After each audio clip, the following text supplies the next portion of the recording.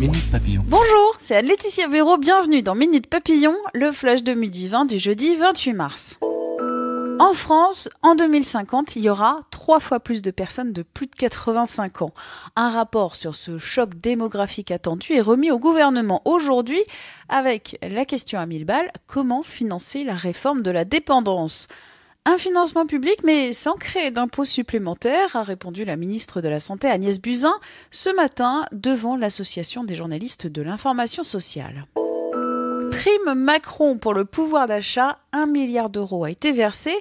Mais qui en a profité? Mon collègue Nicolas Raffin a sorti la calculette.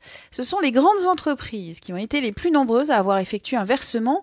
La prime moyenne s'élève à 448 euros et environ 16% des salariés qui ont touché cette prime ont perçu le montant maximum 1000 euros. Attention si vous avez un billet d'avion avec la compagnie aérienne low cost islandaise Wow Air.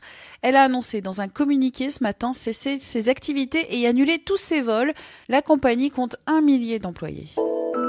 La Tour Eiffel, l'Opéra de Sydney, les gratte-ciels de Hong Kong et 3500 autres monuments dans le monde est un samedi pour l'opération Earth Hour. Ces bâtiments éteindront leur lumière entre 20h30 et 21h30. La 13e édition de cette mobilisation contre le changement climatique menée par le WWF propose à chacun de faire la même chose chez soi. Dédramatiser le cancer de l'anus.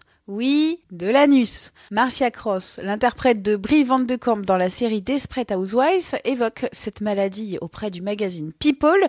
Elle est aujourd'hui en rémission et elle explique avoir surmonté cette épreuve grâce à l'humour. Cancer du sein, cancer des testicules, cancer de l'anus, ce n'est pas parce que ça touche votre trou de balle que vous ne pouvez pas en parler ni même en rire. J'ai des rondeurs et alors, Miss France 2019 répond à ceux qui la critiquent. Veille Malachavez s'est confiée à Gala. Elle explique avoir réalisé que son bonheur ne pouvait pas dépendre du regard des autres. Minute Papillon, on se retrouve ce soir 18h20 pour le flash thématique. Salut